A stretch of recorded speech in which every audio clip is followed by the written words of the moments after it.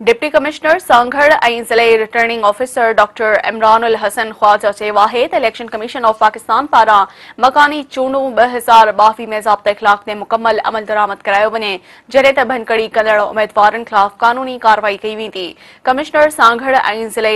returning officer Imran ul Hasan commissioner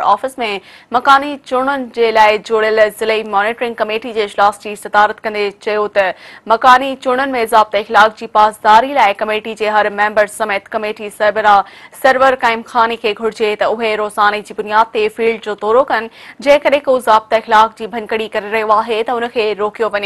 انشن کمشن طرفا جاری کل ضابطہ اخلاق موجب امیدواروں کے مقرر کرائز جا پینا فلیکس ہینڈ بل بینر اور پوسٹر لگائن کی اجازت ہوں جدیں ت بنکڑی سے پینافلیکس ہٹایا وینا ان کے علاوہ ضلع مانیٹرنگ آفیسر روزانے کی بنیاد سے ڈپٹ کمشنر آفس میں فیلڈ رپورٹ جمع کر چا سبھی آفیسرس کے گرجی ان قومی فرض کے پورا کرنے لیے کم کرا ہے ت جی مقامی چوڈ خوش اسلوبی سے ان موقع الشن آفیسرس سا گڑھ تسلیم میاں اور مانیٹرنگ کمٹی جا مبر پی موجود ہو